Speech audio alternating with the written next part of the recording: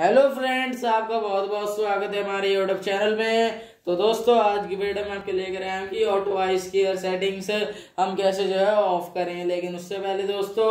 अगर आप हमारे चैनल पे नए हैं तो वीडियो लाइक कर दें चैनल को सब्सक्राइब कर दें और अभी तक आपने बेल आइकन नहीं दबाया है तो बेल आइकन जोर दबा दें चलिए दोस्तों बिना इसी देरी के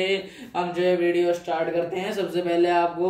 अपने फ़ोन की सेटिंग में जाना है सेटिंग में जाने के बाद दोस्तों यहाँ पे आपको देखने को मिलेगा दोस्तों ए एल असिस्टेंट के नीचे किड मोड किड मोड पे क्लिक करें यहाँ दिख रहा होगा दोस्तों जो है ऑटो आइस केयर सेटिंग्स आपकी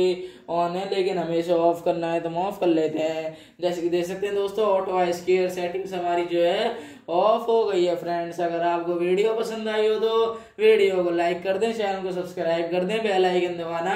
ना भूलें मिलते हैं नेक्स्ट वीडियो में thank you I see in the next video